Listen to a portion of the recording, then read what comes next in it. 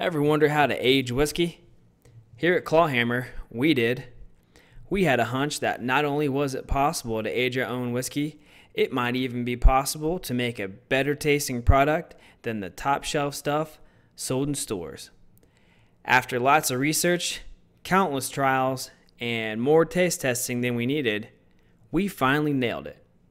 We proudly present to you Clawhammer Whiskey Sticks, a wood aged whiskey kit that allows you to make your very own delicious and customized whiskey in about a week. You can age any kind of alcohol with our sticks, but we'd suggest you use something that has a bit of flavor to start with, like corn whiskey. However, you're only limited by your imagination. Simply drop a stick in 750 milliliters of alcohol and you're off to the races. Wait a week, remove the stick, and drink up. Cheers, folks.